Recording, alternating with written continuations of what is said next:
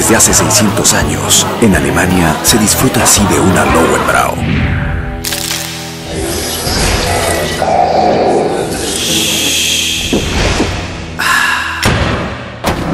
Y ahora tú también la puedes disfrutar con los cinco sentidos.